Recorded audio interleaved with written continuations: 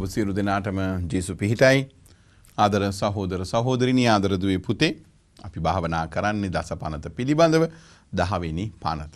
පදනම් කරගන්න වෙනද වගේම කතෝලික සභාවේ ධර්මෝපදේශි. අපි පසුගේ වැඩසටහනේදී මේ දහවන පනත පිළිබඳව ගැඹුරින් මෙනෙහි කිරීම ආරම්භ කළා.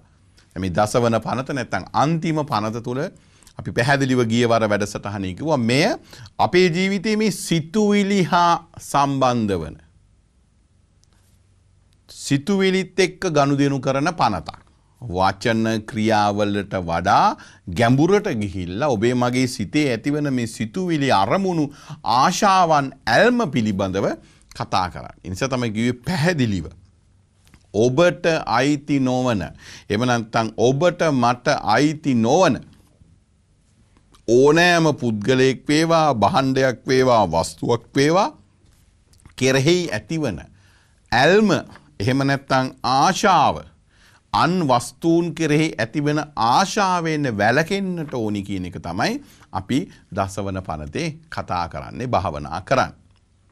පිගියවර කතා කරා විශය මේකට තිබෙන මේ පදනම මොකක්ද නැත්තම් මෙහෙම ඇල්මක් ඇතිවෙන්නේ ඇයි. පුංචි දරුවගේ ඉඳලා තරුණ දූල පුතාලා මැදිවයසේ අය වැඩිහිටියන් පවා වැඩීටි වයසට ගිහිල්ලා මරණය කිට්ටු වෙද්දි පෙනි පෙනී පවා. ඔත්පල වෙලා ඇඳකට වෙලා සීම වෙලා ඉන්නදි පවා. මගේ නොවන වස්තූන් කෙරේ නැත්තම් විවිධ වූ අන් වස්තු අයිති කරගන්න පුද්ගලයෙක් වේවා බහන්ඩයක් වේවා අයිති කරගන්න මා තුළ මෙවැනි සිතුවිල්ලක් පහළ වෙන්නේ ඇයි. ඉසනා කතෝලික සභාව ධර්මෝපදේශය අපිට කිව්වා අපිට සහජයෙන්ම උත්පත්තියෙන් ලැබෙන ලක්ෂණයක් තමයි තෘෂ්ණාධික අභිරුචිය. අභිරුචිය ගැන ආසාාව නමුත් තෘෂ්ණාවෙන් පිරුණු අනිත් ඒවා අයිති කරගන්න ලෝභකමෙන් පිරුණු තෘෂ්ණාවෙන් පිරුණු අභිරුචියක් තියෙනවා මේ අභිරුචිය තමයි ඔබ මහව තල්ලු කරන්නේ මගේ නොවන වස්තුූන් පුද්ගලයන් බහන්ඩ අයිති කරගන්න. හැබැයි හැම බහන්ඩයක්ම හැම පුද්ගලයෙක්ම නෙමේ. පැහැදිලිව කිව්වා මේ අධික ආශාව ඇල්ම අපව ගෙන යන්නේ අපට ළඟා කරගත නොහැකි ප්‍රියමනාප දෑ කෙරෙහි. ප්‍රියමනාප පුද්ගලයන් ප්‍රියමනාප බහන්ඩ වස්තුූන්. කොහොමද ඒක මට ප්‍රියමනාප වෙන්නේ එක බොහොම පුද්ගලානු බද්ධයි. සබ්ජෙක්ටව් එකැන පුද්ගලය හා සම්බන්ධවයි. මට ප්‍රියමනාපදේ තව කෙනෙකුට නොවෙන්න පුළුවන්. තොර මට මගේ මනසට විවිධ හේතු නිසා ප්‍රියමනාප කැමති ආකර්ශනීය දේවල් කෙරෙහි මට ඇතිවෙනවා ලොල්වීමක් ආශාවක්. ඒකට හේතුව මොකක්ද පැහැදිලි කලා තෘෂ්ණාධික අභිරුචිය. එයනුව කිව්ව තමන්ට අයිති නොවනදේ කෙරෙහි තෘෂ්ණාධිකව ලොල්වීම. ඒවා සාධාරණන්දමින් හෝ ලබා ගැනීමට තරම් ගිජුවීම. තොට මේක තිවන පාපය වැරැද්ද තමයි මේ සිතුවිල්ල. මේ මට අයිති නෝන නමුත් මම ප්‍රියමනාප පුද්ගලයන් හෝ බාණ්ඩ කෙරෙහි මාතුළ ඇතිවෙන මේ තෘෂ්නාධික අභිරුචිය නිසා. ඇතිවෙන ආශාව ඇල්ම නිසා මොකද වෙන්නේ. එය අසාධාරණ ක්‍රමයකින් හෝ. බලයෙන් හරි. ලබා ගැනීමට තරම්මට ගිජුවීමක් කෑදරවීමක් මාතුළ ඇතිකරන මෙන්න මේ වලක්වා ගත යුතු බව තමයි දසවන පනතෙන් පැහැදිලිව සඳහන් කරන්න. අද අපි භාවනා කරන්න පටන් ගන්න දෙදස් පන්සිය තිස් හය වන වගන්තී සිට ඉදිරියට. කෑදරකම හා ලෞකික දේවලට ඇති අධික ආශාව හා ඇල්ම දහවන පනතින් තහනම් කෙරේ. එන මොනව සම්බන්ධවද. කෑදරකම හා ලෞකික දේවලට ඇති අධික ආශාව. කෑදරකම කියලා අපි කියනවානේ. දැන් මේ කෑදරවීම කියන එක තව විදිහකට හඳුනනවා ලෞකික දේවල්. ලෝකෝත්තර දේවල් නෙමේ ලෞකික දේවල් මේ ලෝකෙට අයිති ටෙම්පරල් ස්පිරිචුවල් ඒවා නෙමේ අධ්‍යාත්මික දේවල් නෙමේ මේ ලෝකයට අයිති ටෙම්පරල් එහෙම නැත්තම් ලෞකික දෙහි කෙරෙහි ඇතිවන අධික ආශාව නැත්තම් අධික ඇල්ම. මෙතන වචනයක් පාවිච්චි කරනවා අධික දැන් මේ ලෝකයේ බහන්ඩයන් පිළිබඳව ආශාවන් ඇල්මවල් කැමැත්තවල් අපිට තියෙනවා ඒක පාපයක් නෙමේ අපි එහෙම එක කොනකට එක්ස්ට්‍රීම් එකට යන්නට බැහැ මට ඔබට පොතක් කෙරෙහි පෑනක් කෙරෙහි කෑම සම්බන්ධව ඇඳුම් පැළඳුම් වෙන්න පුළුවන් පුද්ගලයන් සම්බන්ධව වෙන්න පුළුවන් රූපවාහිනී ගුවන් විදුලිය ජංගම දුරකථනය සම්බන්ධ වෙන්න පුළුවන් ආශාවක් කැමැත්තක් ඇල්මක් උනන්දුවක් තියෙනවා. ඒක නෙමේ. මෙහි පාවිච්චි කරන වචනයක් අධික ආශාව අධික ඇල්ම අධික බැඳීම අන්නේ අධික බැඳීම තමයි. ඒ අධික ඇල්ම තමයි කෑදරකම. කියන මේ පාපය තුළින් අපිව ගෙනියන්නේ හොඳින් හෝ නරකින් බයිහුක්කෝ බයිකරුක් කෙක්කෙන් හරි කෝක්කෙන් හරි. කොහොම හරි මම ඒ දේ ලබාගණ්ඩ පුද්ගලයකවා බහන්්ඩේව මම ලබාගන්න උත්සාහ කරනවා. මෙන්න මේ සිතුවිල්ලෙන් වලකින්න කියලා. තමයි දසවන පනතින් කියන්නේ අන්වස්තු ආශා නොකරව කිය. අසල් වසියාට අයිතිදේ අයුතු ලෙස අත්පත් කර ගැනීම. උදුරා ගැනීම හා අන්වස්තුූන් කෙරෙහි ඇලුම්වීමද මේ පනතින් තව දුරටත් තහනම් කෙරේ. දැ මේ පනතින් කියන්නේ මේ අන්වස්සුදේ අයිති කර ගැනීම උදුරා ගැනීම විතරක් නෙමේ. ඒවා ක්‍රියාවන්නේ ඇක්ස්. ඒ ක්‍රියාවට පහලින් තිබෙන ඇලුම්වීම පවයිකන මේ සිතුවිල්ල හිත යටින් ඇති වෙන කවුරුද්දන්නේ නැහැ මට එහෙම ඇලුම්වීමක් අධික ආශාවත් තියනවද මේ පුද්ගලයා කරේ මේ බාණ්ඩය කරේ ලෝකයටම හංගගෙන ඉන්නේ. නමුත් මගේ හදවත ඇතුළේ ලොකු තැරපීමක් තිබෙනවා මේ පුද්ගලයා මට අයිති නැති මේ වස්තුව මේ බහන්්ඩේ අයිති කරගන්න. මේ සිතුවිල්ලෙන් පවා අපි ඉවත් වෙන්නට ඕනි. ඈත් වෙන්නට ඕනි කියනක තමයි මේ පනතෙන් සඳහන් කරන්න. දන්න රෝමානු ධර්මෝපදේශය. දැම්මි කතෝලික සභහා ධර්මෝපදේශය. අපට සුද්දෝ සභාව එක්දස් නම්සිය හැට දෙකී සිට හැට පහදක්වා මේ කාලය තුළ ඒ දෙවන වතිකානු වන්තන සභාව තුළ ඇතිවුණු ඒ නවෝදයත් එක්ක ගොඩනැගුණු අපිට ලැබුණු මේ කියන කතෝලික සභාවේ ධර්මෝපදේශය ලැබෙන් ඉස්සෙල්ලා. කතෝලික සභාවේ මේ ඉගැන්වීම තිබුණේ රෝමානු ධර්මෝපදේශපින රෝබන් කැටිකීසම් කියන මේ ග්‍රන්ථය. එතකොට මේ රෝමානු කැටිකීසම් නැත්තම් රෝමන් කැටිකීසම් කියන එකෙන් උපුටාගෙන තියෙනවා මේ කතෝලික සභාවේ ධර්මෝපදේශය කැටිකීසම of the Catholic Church කියන ග්‍රන්ථය පරණ දේ සම්පූර්ණයෙන් අයින් කරේ නැහැ. ඒකේ ලස්සන වටිනා දේවල් උපුටාගෙන තියෙනවා. එහි සඳහන් කරනවා මෙන්න මේ වචන ටිකත් ඉතාමත්ම ලස්සනට. දේව නියෝගයේ අනුව ඔබාන් සතු දේවල් ආශා නොකළ යුතුය යන වචනවලින් ගම්ය වනුවේ. ගැන දේවනියෝගය ගැන සුද්ද බයිබලයේ වචනය අනුව. මෙයින් ගම්ය වෙන්නේ ගැන අදහස් වෙන්නේ අපට අයිති නැති මොනයම් දෙයක් හෝ ලබා ගැනීමට ඇති ආශාවලින් බැහැරව සිටීමයි. එතකොට රෝමානු ධර්මෝපදේශය මේ අපි කතා කරන කතෝලික ධර්මෝපදේශය එන්න පෙර අපට මඟ පෙන්නු රෝමානු ධර්මෝපදේශය කියනවා මේ දසවන පනතින් අදහස් වෙන්නේ අපට අයිති නැති මොනයම් හෝ දෙයක් හෝ ලබා ගැනීමට ඇති ආශාවලින් බැහැරව සිටීමයි. අන්න අයගේ වස්තුවලට අප තුළ ඇතිවන සාපිපාසාව සීමා රහිතය. අර අපි කලින් කිව්වේ තෘෂ්ණාධික අභිරුචිය නිසා සීමා රහිතව ලිමිට්ලස් අන්ලිමිටඩ්ලි කිසිම සීමාවක් නැතුව අපිට ගොඩාක් සාපිපාසාවක් පිපාසයක් ඇල්මක් ඇති වෙනවා අපට අයිති නැති. නමුත් ඔක්කොමට නෙමෙයි අපි කලින් කතා කර වගේ මට ප්‍රියමනාප. අයිලයිකිට් මම කැමති ඒ කැමති පුද්ගලයා වෙන්න පුළුවන්. බාණ්ඩය කෙරෙහි ඇල්මක් ඇති වෙනවා. ඒක සීමාවකින් තොරව ඇතිවෙන. ඒ අප්‍රමාණයික කියන්න බෑ මේ දැන් ඉවරයි. අදින් පස්සෙනන්නෑ ආයිනං එහෙම සිතුවිඩියෙන්න එහෙම හිතුවට නැවත සතියයි දෙකයි මාසයයි නැවත ඒ පුද්ගලයන මේ වෙන පුද්ගලයෙක් වෙන්න පුළුවන්. ඒ වගේ තවත් පුද්ගලයෙක් වෙන්න පුළුවන්. ඒ වගේ වෙනත් බහන්ඩයක් වෙන්න පුළුවන්. හාත් පසින්ම වෙනත් වස්තුවක් කෙරෙහි නැවත අධික තෘෂ්ණාවක්. නේ එහෙම නැත්තං අතහැරගන්න බැරි බැඳීමක් බවට පත්වෙන. මේක අපේ ජීවිතය ගොඩක් වෙලාවට තියෙන දෙයක් අපිකු සමහරලාට බොහෝදේ අතාරිනෝ. බොහෝදේ අතහරිනවා. ඒ බොහෝදේ අතහැරියට සුළු සුළු දේවල් අල්ලගෙන ඉන්නවා. තමයිට පූජක පැවිදි ජීවිතය තුළ වෙන්නට පුළුවන් එහෙම නැත්තං විවාහක ජීවිතය වෙන්න පුළුවන් අපි බොහෝ වස්තුව බොහෝ පුද්ගලයන් ආදායම් මාර්ග මුදල් මේ ඔක්කොම අතහැරනවා.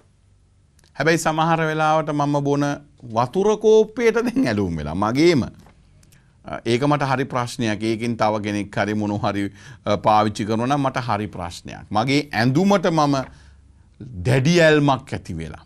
අනුන්ගේකට වගේම මා කෙරේ දැඩි මගේ බහන්ඩ වෙන්ඩ පුළුවන් මා සතු දෙව දැඩි ඇල්මක් ඇතිවෙනවා. මේ අභිරුචිය මා තුළ තියෙනට පුළුවන්. සමහරට ගෙදර පුංචි පුංචි සණ්ඩුව ඇතිවෙන්නේ මොනවටද කෝප්පෙට පිඟානට රූපහනය බලන්ට වාඩි වෙන පුටුවට. කවද මගේ පුටු වාඩුවනි මන්න මෙතන වාඩිවෙන් දැ මේ පුටුව පවා අයිති කරගෙන. පිඟාන කෝප්පය කොට්ටය එක සමහට ගෙදරින් එහා ගිහිල්ල විධ සංග තුළ පවෙන්ට පුළ මරකිවෝගේ පූජක පැවිදි සංගවලෙන්ට පුළුව සියල්ල අතහැරල ඇවිල තියෙන්නේ. හැබැයි ගිහිල්ලා ඒ මා ජීවත් වෙන තැන පුටුවකට මට මං හදපු හෝ මංගෙනාප පුටුවන් නෙමෙයි. මේ ටීවි බලන පුටුව මේ පිඟාන කෝප්පය එම නැත්තං කොට්ටය එහෙම නැත්තම් මොනොහරි දේකට සමහට තෘෂ්නාධික ඇල්මක් ඇතිවෙනවා ඒ නිසා මට පුද්ගලයොත් එක්ක සමහට තරහයි. සමහට අපි එහෙම ඉන්නවනේ. මේ බහන්්ඩය නිසා මට දැන් පුද්ගලයාව සම්බන්ධ. පල්ලි බංකුවක් පවාවෙන්න පුළුවන්නේ සමහර ඉන්න හෙම දෙව්ම දුරේ. අනීතින් අර හිතට ආසාවට.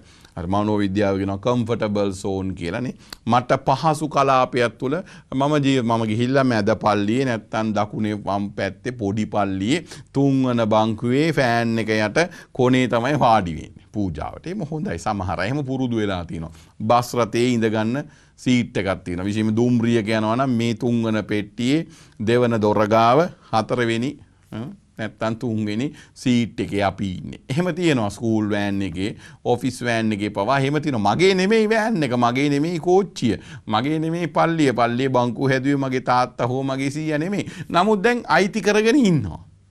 ඇල්මක් ඇති වෙලා තිනවා එතන ඉන්න එතන යන්න ඒ දේ පාවිච්චි කරන්න. ගැටලුවක් නැහැ. නමුත් ප්‍රශ්නේ තියෙන්නේ මොකක්ද? ඔතනට වෙන කෙනෙක් ඇවිල්ලා වාඩි වුණොත් එදා දවසේ පූජාවත් ඉවරයි. වෑන්නේ කියන ගමනත් ඉවරයි කෝච්චියන ගමනත් එක හිත යටින් පුපුරු ගහ.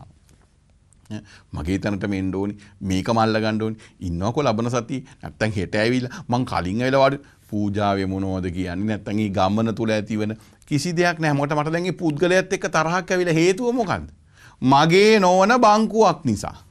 මගේ නොවන මං හදපු නැති වාහනයක් නිසා වාහනයක සීට් එකක් නිසා.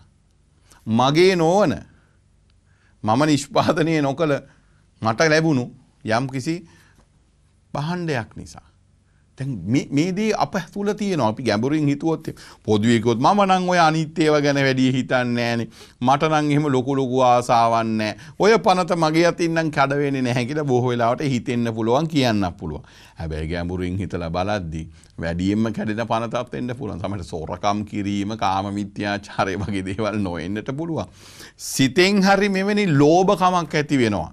මගේ නොවන බංකුව මගේ නොවන පුටුව මගේ නොවන වාහනයක් වාහනයේ සීට් එක වෙන්න පුළුවන් මගේ නොවන කාර්යාලයේ මට ලැබිච්ච කෝප්පයක් පිඟානක් වෙනට පුළුවන් ගැඹුරින් හිතලා බලන්න. අපි අයිති කරගෙන මනසින් අයිති කරගෙන ඔප්පු තිරප්පු මුකුත් නැහැ. මේ පල්ලිය කනත්ත වගේ සමහර වැලට ඉස්සල මිතුනවා මෙතන තමයි මේ වෙලා මෙතන තමයි මං වැලලෙන්නේ. මේ වගේ සමහරට හැම දෙයක්ම මගේ නොවන මගේ දේට දැඩි ලෙස ඇලුම්වීමත් වැරදි. තොට මගේ නෝන මට අයිතියක් නැති කෙරෙහි ස්වාමින් වහන්සේ පැහැදිලිව කියනවා අන්නේකින් ඔබ ඈත්වෙන. රෝමානු ධර්මෝපදේශය මේක පැහැදිලිව කියනවා. තමන්ට අයිති නැති මොනයම් හෝ දෙයක් හෝ ලබා ගැනීමට ඇති ආශාවලින් බැහැරවීමයි. අන්න අයගේ වස්තුවලට අප තුළ ඇති සාපිපාශාව සීමා රහිතය අප්‍රමාණය. ඒ කිසිදාක සංසිඳවිය නොහැක්කකි. එබැවින් මෙසේලියා ඇත. මුදලට ඇලුම් කරන්නා කිසි දිනක සෑහීමට පත් නොවේ. මුදලට එහෙම නැත්තම් බහන්්ඩයකට පුද්ගලිකුට වෙන්න පුළ. දැඩි ඇලුම් කරන්න මොකද වෙන කිසිම දවසක සංසිදෙන්නේ නැහැ. නොසිදෙනවා නොසිදෙන පිපාසයක් ඇති වන ඉතින් හම්බාගෙන යනවා ඒ දේ කොහොමරි අයිති කරගන්න සාධාරණ හෝ අසාධාරණ ක්‍රමවලින් ඒදේ අයිති කරගන්න උත්සාහ කරන. දෙදස් පන්සිය තිස් හත්වන වගන්තයේ සඳහන් වෙනවා. සාධාරණ ක්‍රම උපයෝගි කරගනවෙන් යුක්ති සහගතව. අන්‍යයන්ට අයත්දේවල් තමන් වෙත ලබා ගැනීමට ඇතිවන ආශාව මේ පනත උල්ලංඝනය කිරීමක් නොවේ. මේකත් පැහැදිලි කරගන්නට ඕන. දැන් මම කැමති ඉඩමක් මිලදී ගන්නට. මගේ හිතට ආස කරන ඇඳුමක්. මට ප්‍රියමනාප පුද්ගලයෙක් සමඟ විවාහවෙන්න. මට ප්‍රියමනාප පුද්ගලයෙක් සමඟ මිතුරු සම්බධතාවයක් ගොඩනගන්න. එහෙම නැත්තන් මම කැමති අධ්‍යාපනයක් ලබන්න. උපාධයක් ලබන්න. මම කැමති රස්සාාවකට ඇත්තං ආයතනයකට ඇතුළුවෙන්. තැන් මේ වගේ සිතුවිලියෙන් මේ ලෝකෙ සියල් අතහැරලා අපි ජීවත් වෙනවා නෙමෙයි. එතකොට මේ මට අයිති නෑ ඒ මොහොතේ ආයතනය නැත්තන් ඒ පුද්ගලයා එහි බහන්ඩය මට අයිති නෑ. නමුත් මං ඒකට කැමති පුද්ගලයට නැත්තන් ඒ බහන්ඩේ අයිති කරගන්නට මගේ සිතුවිල්ලක් ඇවිල්ලා තියෙන. දැ මේ සිතුවිල්ල ආපු ගමම මේක පාපයක් කියන එක නෙමේ. නමුත් මේ අධික තෘෂ්ණාව කෑදරකම කියලා කියන්නේ කෑදරකමින් තෘෂ්ණාවෙන් දැඩියල්මක් අධික ගෙන වචනය පාචි කන අධිකාශාව අධික ඇල්ම තමයි පාපය.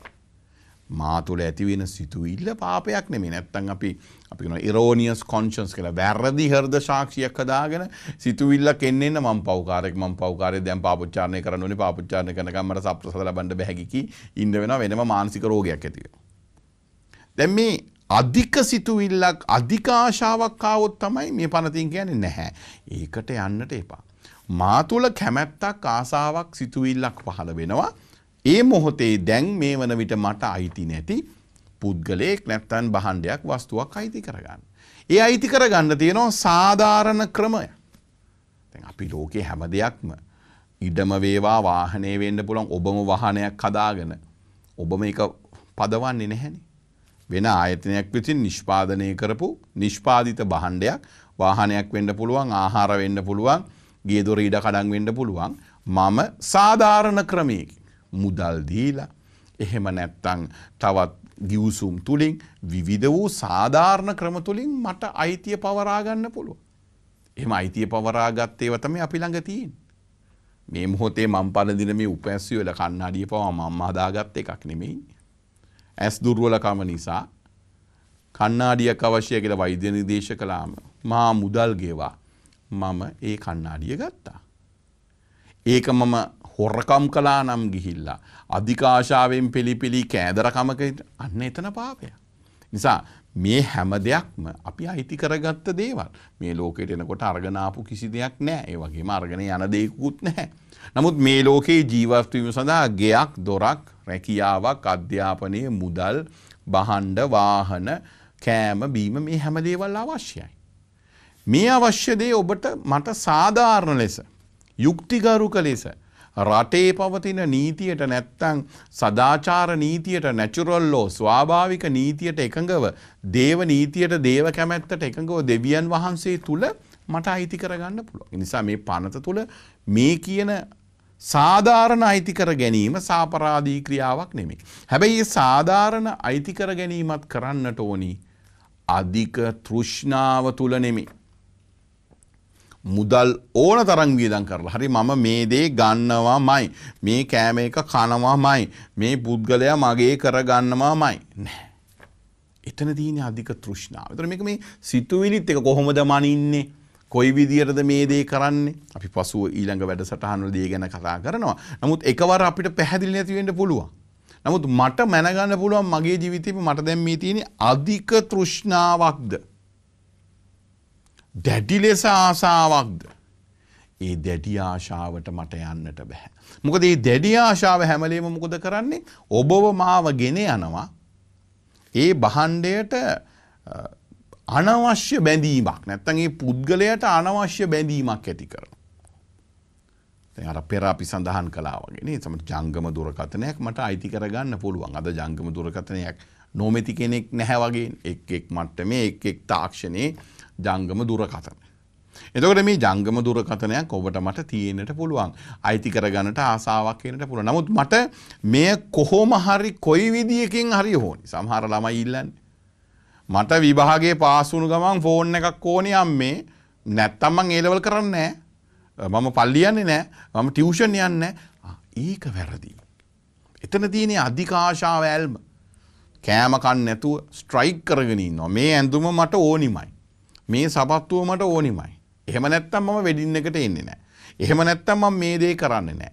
එහෙම නැත්තම් මං එතනදී මා ඔබ දන්නේම නැතුව අදර දුවේ පුතේ අම්මේ තාත්තේ මේ කෑදරකම කියලා. අධික ලොල් වීම කියන එක. නැත්තම් මේ දසවන පනත කඩ කරන්න හේතු වෙනවා.